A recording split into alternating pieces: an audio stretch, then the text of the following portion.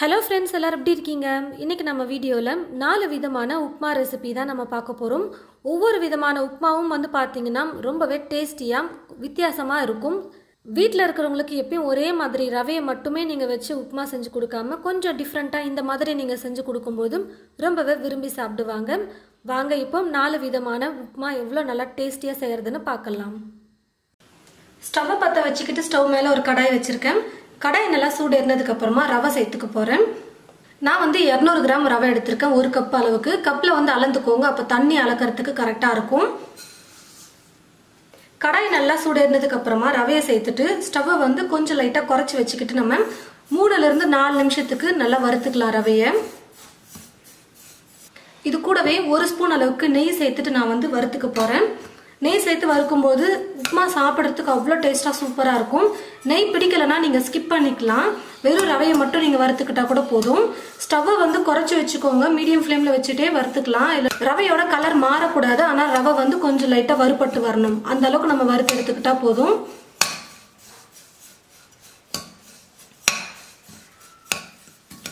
நான் வந்து நாலு நிமிஷத்துக்கு ரவையை நல்லா வறுத்துக்கிட்டேன். இப்போது ஸ்டவ்வை வந்து லோ ஃப்ளேமில் வச்சுட்டு கடாயில் இருக்கிற ரவையை வந்து ஒரு பிளேட்டில் மாற்றிக்கலாம் தீ ஃபுல்லாக வச்சுட்டு இது கூட எண்ணெய் சேர்த்துக்க போகிறேன்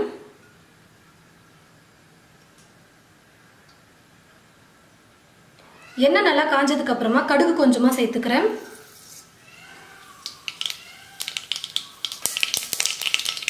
கடுகு நல்லா பொரிஞ்சதும் அரை ஸ்பூன் உளுத்தம் பருப்பு அரை ஸ்பூன் கடலைப்பருப்பு சேர்த்துக்கிறேன்.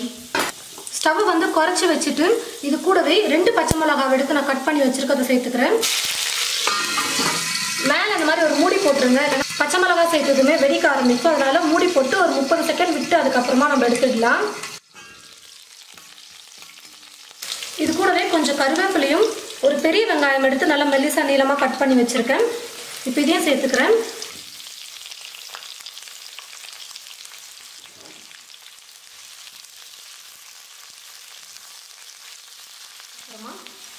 இந்த மாதிரி வெங்காயமும் நல்லா வதங்கினதுக்கு அப்புறமா ஒரு சின்ன தக்காளி பழம் எடுத்து கட் பண்ணி வச்சிருக்கேன். இந்த உள்ள விதை இருக்கும் பார்த்தீங்களா அதை எடுத்துட்டு தக்காளி நான் வந்து கட் பண்ணி வச்சிருக்கேன்.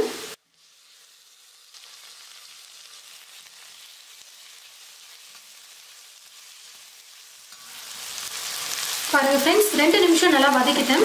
நம்ம சேர்த்து இருக்கிற தக்காளி வந்து தெரியணும் ரொம்ப வதங்கக்கூடாது. ஓரளவுக்கு வதங்கினா போதும் தக்காளி.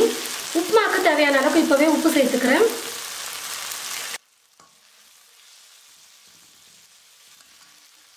உப்பு சேர்த்து லைட்டாக கலந்து கொடுத்துட்டு வறுத்து இருக்கிற ரவையை சேர்த்துக்கலாம். ஸ்டவ்வை லோ ஃப்ளேமில் வச்சுட்டு ஒரு ரெண்டு நிமிஷம் நம்ம ரவையை இதோட சேர்த்து நல்லா கலந்து கொடுத்துக்கலாம். அதுக்குள்ளே ரவையை சேர்த்து நல்லா இப்போது வறுத்ததுக்கு அப்புறமா ஒரு பாத்திரத்தில் தண்ணி வந்து நான் எடுத்து சூடு பண்ணி வச்சுருக்கேன். இப்போ இந்த சூடான தண்ணி இது கூட சேர்த்து நம்ம கலந்து கொடுத்துக்கலாம்.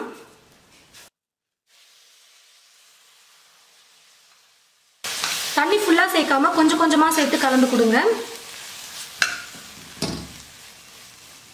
ஸ்டவ்வை வந்து மீடியம் ஃப்ளேமில் வச்சுட்டு இதுக்கப்புறம் குக் பண்ணிக்கலாம். அப்போ தான் கரெக்டாக வெந்து வரும்.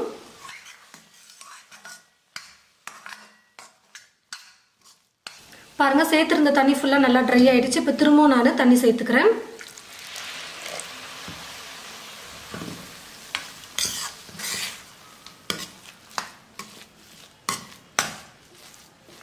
நான் வந்து ஒரு கப் ரவைக்கு இப்போ ஒன்றரை கப் அளவுக்கு சுடுதண்ணியை சேர்த்து நான் மிக்ஸ் பண்ணியிருக்கேன். கொஞ்சம் கொஞ்சமாக சுடுதண்ணியை சேர்த்து சேர்த்து இப்போ நம்ம மிக்ஸ் பண்ணி கொடுத்தோம்னா கரெக்டாக வெந்து வந்துடும் சீக்கிரமாகவும் ஆகிடும் நல்லா உதிரி உதிரியாகவும் வரும் உப்புமா. சுடுதண்ணி சேர்த்து மிக்ஸ் பண்ணதில் பாதி அளவுக்கு மேலே நல்லா வெந்து வந்துருச்சு உப்புமா. இப்போ வந்து மீதி நம்ம வேக வச்சுக்கலாம். ஸ்டவ்வை வந்து இப்போ லோ ஃப்ளேமில் வச்சுட்டு நல்லா இந்த மாதிரி அழுத்தி கொடுத்துட்டு மேலே ஒரு மூடி போட்டு மூடி வச்சுடுங்க. அப்பப்போ வந்து ஓப்பன் பண்ணி கலந்து கொடுத்தீங்கன்னா நல்லா சூப்பராக உதிர உதிராக வெந்து வந்துடும் இப்போ திரும்பவும் நான் கலந்து கொடுத்துக்கிறேன்.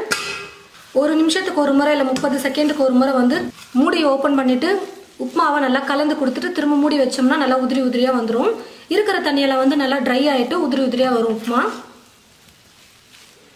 இந்த சூட்லேயே நம்ம வேக வைக்கிறது தான் நல்லா வெந்து வந்துடும் இப்போவே பார்த்தீங்கன்னா முக்கால் பாகத்துக்கு நல்லா வெந்து வந்துருச்சு உப்புமா. இன்னும் கொஞ்ச நேரம் இந்த சூட்லேயே நம்ம வேக வச்சோம்னா நல்லா சூப்பராக உப்புமா ரெடி ஆகிடும் வெந்து. இப்போ திரும்பவும் மூடி போட்டு நான் மூடி குக் பண்ணிக்கிறேன். இதே மாதிரி ஒரு ரெண்டு மூணு முறை நம்ம குக் பண்ணி எடுத்தோம்னா உப்புமா வந்து நல்லா உதிரி உதிரியாக வெந்து வந்துடும் பாருங்கள் ஃப்ரெண்ட்ஸ் நல்லா உதிரி உதிரியாக உப்புமா வந்து ரெடி பண்ணியாச்சு. எவ்வளோ நல்லா உதிரி உதிரியாக வந்திருக்கு பாருங்கள் உப்புமா தண்ணியோட அளவு மட்டும் நம்ம கரெக்டாக வச்சுட்டு நம்ம உப்புமா செஞ்சோம்னா சூப்பராக ஒரு உதிரி உதிரியாக உப்புமா ரெடி ஆயிடுச்சு இப்போ நம்ம ஸ்டவ் ஆஃப் பண்ணிடலாம். இதுக்கு மேலே உங்களுக்கு வேணும்னா கொத்தமல்லி கூட நீங்கள் தூவிக்கலாம். இப்போ நான் வந்து கொத்தமல்லி எல்லாம் எதுவும் சேர்க்காம அப்படியே நான் சர்வ் பண்ணிக்கிறேன். பாருங்க ஃப்ரெண்ட்ஸ் நல்லா உதிரி உதிரியா சூப்பரா நம்ம உப்புமா ரெடி பண்ணிட்டோம். எப்பயும் போல உப்புமா செய்யாம கொஞ்சம் கூட எக்ஸ்ட்ரா நம்ம தக்காளி சேர்த்து செஞ்சிருக்கோம்.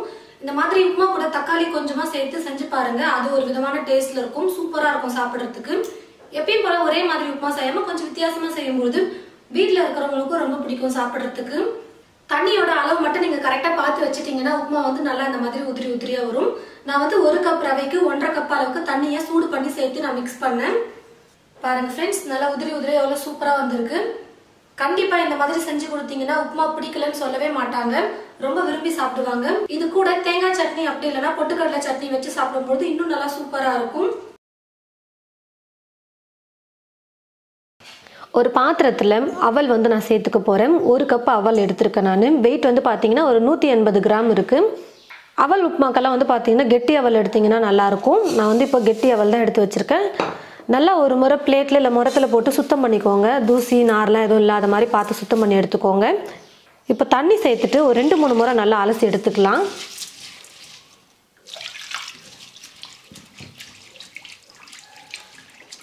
நல்லா ஒரு ரெண்டு மூணு முறை தண்ணியில் நல்லா அலசி எடுத்துக்கிட்டேன். இப்போது தண்ணி சேர்த்துக்கலாம் அவல் ஊறுறதுக்காக ரொம்ப அதிகமாக சேர்க்கக்கூடாது அவல் உப்புமாவுக்கு வந்து பார்த்தீங்கன்னா நம்ம தண்ணி அதிகமாக சேர்த்துட்டு ஊறினதுக்கு அப்புறமாவும் தண்ணி இருந்ததுன்னா பிழிஞ்சு எடுக்கிற மாதிரி ஆகிடும் அப்போ வந்து அவள் வந்து ரொம்ப குழஞ்சி மசிஞ்சு போயிடும். அந்த மாதிரி இருக்கக்கூடாது. பார்த்து அளவாக நீங்கள் தண்ணி சேர்த்துக்கோங்க. அவள் ஊடுற அளவுக்கு சேர்த்துட்டு அதுக்கு மேலே கொஞ்சம் லைட்டாக சேர்த்துக்கோங்க போதும். ரொம்ப அதிகமாக தண்ணி சேர்க்கவே கூடாது. இப்போ வந்து பார்த்தீங்கன்னா நான் அவள் முழுகிட்டு கொஞ்சம் மேலே லைட்டாக இருக்கிற மாதிரி நான் தண்ணி சேர்த்துருக்கேன். அப்படியே இருக்கட்டும். நல்லா ஊறட்டும். கொஞ்ச நேரம் கழித்து வந்து நீங்கள் திருப்பி கலந்து கொடுங்க. மேலே இருக்கிற அவள்லாம் ஊறணும் பாருங்கள் அதனால் கொஞ்ச நேரம் கழித்து திருப்பி கொடுத்தீங்கன்னா அதுவும் நல்லா ஊறி வந்துடும் ஒரு பத்து இல்லை பன்னெண்டு நிமிஷம் நல்லா ஊறட்டும். பாருங்கள் ஃப்ரெண்ட்ஸ் ஒரு பத்துலேருந்து பதினஞ்சு நிமிஷம் நான் வந்து அவலில் தண்ணியில் நல்லா ஊற வச்சு எடுத்துக்கிட்டேன். சேர்த்துருந்த தண்ணி கொஞ்சம் கூட இல்லை பாருங்கள் நல்லா ட்ரை ஆகிட்டு வந்துருச்சு. இந்த மாதிரி தான் நம்ம வந்து அவல் உப்புமாக்கு அவலை வந்து ஊற வைக்கணும். ரொம்ப தண்ணி சேர்த்துட்டோம்னா தண்ணி அப்படியே இருக்கும். நம்ம பிசையும் போது அப்படியே கூழ் மாதிரி இப்படி மசிஞ்சு வந்துடும் இப்போ பாருங்கள் கரெக்டாக இருக்குது தண்ணி மட்டும் பார்த்து சேர்த்துக்கோங்க. நல்லா இந்த மாதிரி அழுத்தி வச்சிட்டிங்கன்னா நல்லா ஊறி வந்துடும் அப்பப்போ இப்படி கலந்து கொடுத்துட்டு நீங்கள் அழுத்தி வைக்கணும். அப்போ தான் வந்து மேலே இருக்கிற அவளும் நல்லா ஊறி வரும்.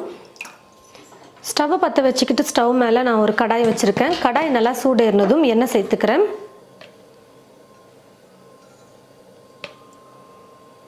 எண்ணெய் நல்லா காஞ்சதுக்கப்புறமா கடுகு கொஞ்சம் சேர்த்துடுறேன். கடுகு நல்லா பொரிஞ்சதுக்கப்புறமா இது கூட வேர்க்கடலை சேர்த்துக்க போகிறேன் இது வந்து ஆப்ஷனல் தான்.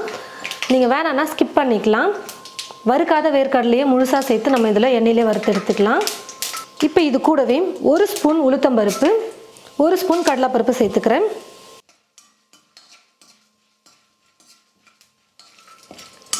பருப்பு கடலைப்பருப்பு வேர்க்கடலை எல்லாமே வந்து பார்த்தீங்கன்னா நல்லா வறுப்பட்டு வந்துருச்சு.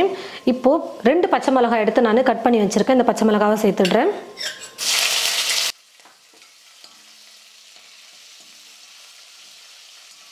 ஒரு பெரிய வெங்காயம் எடுத்து பொடியாக கட் பண்ணி வச்சுருக்கேன். இதையும் சேர்த்துடுறேன். கூடவே கொஞ்சம் கருவேப்பிலையும் சேர்த்துக்கிறேன். இப்போ இது எல்லாத்தையும் சேர்த்து நல்லா வதக்கிக்கலாம்.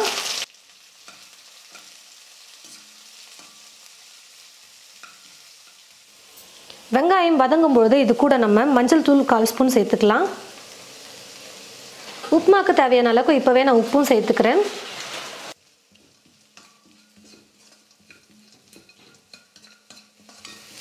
பாருங்கள் ஃப்ரெண்ட்ஸ் வெங்காயமும் நல்லா வதங்கி வந்துருச்சு. ரொம்ப வதங்க வேணாம். ஓரளவுக்கு வெங்காயம் வதக்கி எடுத்துக்கிட்டால் போதும். இப்போ ஸ்டவ்வை வந்து குறைச்சி வச்சுட்டு இது கூட எலுமிச்சம்பழ சாறு நான் சேர்த்துக்க போகிறேன் ஒரு பாதி பழம் எலுமிச்சம்பழ சாறு சேர்த்துக்கிட்டால் போதும். நம்ம எடுத்துக்கிற அவளுக்கு கரெக்டாக இருக்கும். எலுமிச்சம்பழ சாறு சேர்த்ததுமே நம்ம ஊற வச்சு எடுத்து வச்சிருக்கிற அவலை சேர்த்துடலாம்.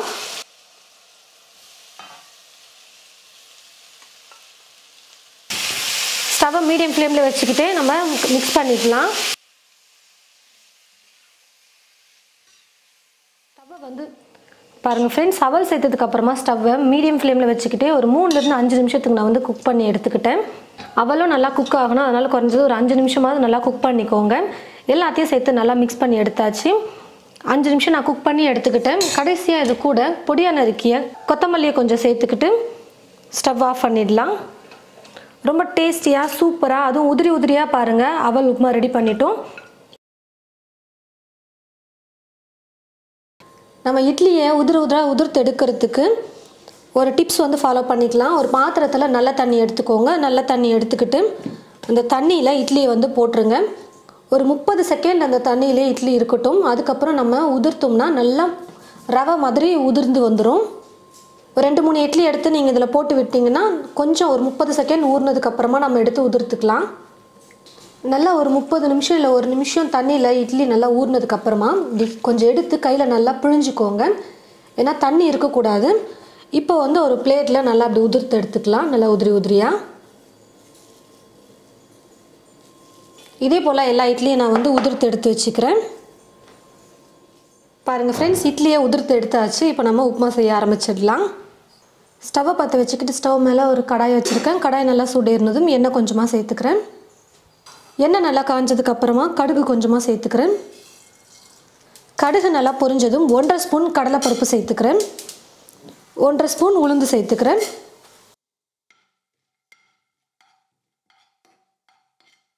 அப்புறமா பருப்பு நல்லா வறுப்பட்டதுக்கு அப்புறமா ரெண்டு பச்சை மிளகாய் எடுத்து வச்சுருக்கேன் அதை சேர்த்துக்கிறேன்.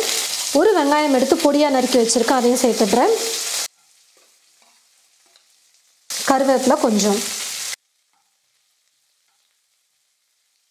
சும்மா எல்லாத்தையும் சேர்த்து நல்லா மிக்ஸ் பண்ணி விட்டுட்டு இது கூடவே மஞ்சள் தூள் கொஞ்சம் உப்பு சேர்த்துக்க போகிறேன் ஏற்கனவே நம்ம இட்லியில் உப்பு சேர்த்துருப்போம் அதனால் இப்போ கொஞ்சமாக தேவையான அளவுக்கு உப்பு சேர்த்துட்டு நம்ம கலந்துக்கலாம்.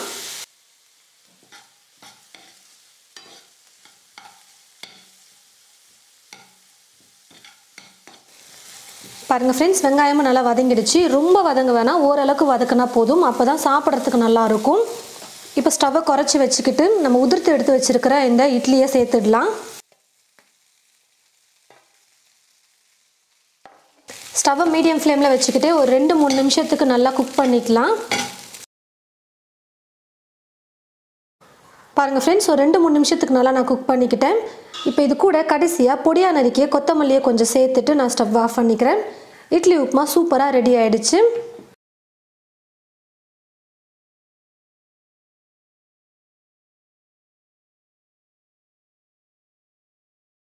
புட்டு கொழுக்கட்டை செய்யறதுக்கெல்லாம் மாவு வந்து நாங்களே அரைச்சிக்குவோம். எப்பவுமே புட்டு கொழுக்கட்டைலாம் செய்யறதுக்கு மாவு அரைச்சோம்னா சலிச்சு தான் அப்புறம் யூஸ் பண்ணணும். ஏன்னா அதுக்கெல்லாம் மாவு வந்து ரொம்பவே நைஸா வேணும். சலிக்கும் பொழுது மீதி இருக்கிற அரிசி வந்து இந்த மாதிரி ரவை மாதிரி வந்து நிற்கும் சலிச்சு எடுத்த இந்த அரிசி ரவையை வேஸ்டா தூக்கி போடாம நம்ம உப்புமா செஞ்சு சாப்பிடலாம். இப்போ இந்த அரிசி ரவையில உப்புமா எப்படி செய்யறதுன்னு பார்க்கலாம். ஸ்டவ் மேல ஒரு கடாய் வச்சிருக்கேன். கடாய் நல்லா சூடு இருந்ததும் எடுத்திருக்கிற அரிசி ரவையை இதுல சேர்த்துடுறேன். நான் எடுத்திருக்கிற அளவு பார்த்தீங்கன்னா நூற்றி ஐம்பது கிராம். ஒரு கப் அளவுக்கு நான் எடுத்திருக்கேன். ஒரு ரெண்டு நிமிஷத்துக்கு நான் இப்போ இந்த அரிசி ரவையை நல்லா வறுத்து எடுத்துக்கிறேன்.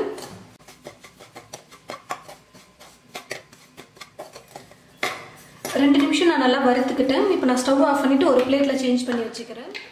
ஸ்டவ் மேலே ஒரு கடாய் வச்சுட்டேன். கடாய் நல்லா சூடு என்னதும் எண்ணெய் சேர்த்துடுறேன். எண்ணெய் நல்லா சூடானதும் கடுகு சேர்த்துடுறேன்.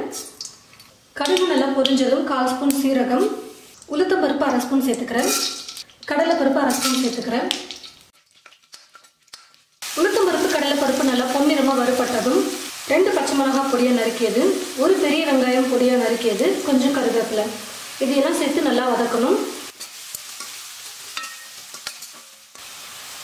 வெங்காயம் வந்து நல்லா வதங்கிடுச்சு இப்போ நான் தண்ணி சேர்த்துக்கிறேன்.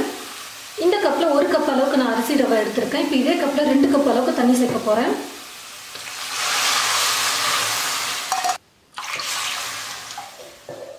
உப்பு தேவையான அளவுக்கு சேர்த்துக்கிறேன். தண்ணி நல்லா கொதிக்கட்டும். தண்ணி நல்லா கொதிச்சதுக்கப்புறமா ஸ்டவ் வந்து கம்மி பண்ணி வச்சுட்டு வறுத்துருக்கிற அரிசி ரவையை கொஞ்சம் கொஞ்சமாக நம்ம போட்டு மிக்ஸ் பண்ணணும். ஒன்றா போட்டுட்டா உருண்டை கட்டிடும். அதனால் கொஞ்சம் கொஞ்சமாக போட்டு மிக்ஸ் பண்ணோம்னா உருண்டெல்லாம் எதுவுமே இல்லாமல் வரும்.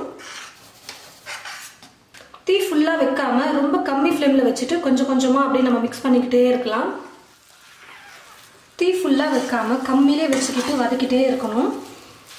பாருங்கள் சேர்த்துருந்த தண்ணி எல்லாமே நல்லா ட்ரை ஆகிட்டு அதே சமயம் அரிசி மாவும் நல்லா வெந்து வந்துருச்சு. இப்போ நான் கொஞ்சம் கொத்தமல்லியை பொடியாக கட் பண்ணி வச்சுருக்கேன் அதை சேர்த்துக்கிறேன். இது கூடவே கொஞ்சம் தேங்காய் துருவி வச்சுருக்கேன் அதையும் சேர்த்துக்க போகிறேன் ஒரு ரெண்டு ஸ்பூன் அளவுக்கு தேங்காய் துருவல் சேர்த்தா போதும். இப்போ ரெண்டுத்தையும் சேர்த்து நல்லா மிக்ஸ் பண்ணி விட்டுக்கலாம். கொத்தமல்லியும் தேங்காய் துருவலும் சேர்த்து நல்லா மிக்ஸ் பண்ணதுக்கப்புறமா ஸ்டவ் ஆஃப் பண்ணிடுறேன். அரிசி ரவை உப்புமா ரெடி ஆயிடுச்சு. நான் அரிசி ரவை உப்புமாவுக்கு தொட்டுக்க தேங்காய் சட்னி அரைச்சி வச்சுருக்கேன். ரொம்பவே சூப்பராக இருக்கும். ரொம்ப சிம்பிளான ஒரு ரெசிபி தான். ஆனால் நல்ல ஒரு பிரேக்ஃபாஸ்ட்னு சொல்லலாம். காலையில் டிஃபனுக்கு ஒரு நல்ல ஒரு ரெசிபியாக இருக்கும் இந்த அரிசி ரவை உப்புமா. கண்டிப்பாக உங்களுக்கு இந்த நாலு விதமான உப்மா ரெசிபியும் பிடிச்சிருக்கும்னு நினைக்கிறேன். ஒவ்வொரு உப்மா ரெசிபியுமே டிஃப்ரெண்ட்டாக வேறு வேறு பொருட்களை வந்து நம்ம மெயினாக கொண்டு செஞ்சுருக்கோம். கண்டிப்பாக உங்களுக்கு இந்த நாலு விதமான உப்மா ரெசிபியும் பிடிச்சிருக்கும். கண்டிப்பாக நீங்கள் உங்களுடைய வீட்டில் இந்த மாதிரி நாலு விதமான உப்மா ரெசிபி வந்து செஞ்சு பாருங்கள் செஞ்சு பார்த்துட்டு எப்படி இருக்குன்னு சொல்லிட்டு மறக்காமல் கமெண்ட் பாக்ஸில் வந்து கமெண்ட் பண்ணுங்கள் இந்த வீடியோவை மற்றவங்களுக்கும் ஷேர் பண்ணுங்கள் இது போல் நிறைய ரெசிபீஸ் பார்க்க தமிழ் ஃபுட் மசாலா சேனலை மறக்காமல் சப்ஸ்கிரைப் பண்ணிக்கோங்க. கூடவே பக்கத்தில் இருக்கிற பெல் ஐக்கானை கிளிக் பண்ண மறந்துடாதீங்க. தேங்க்யூ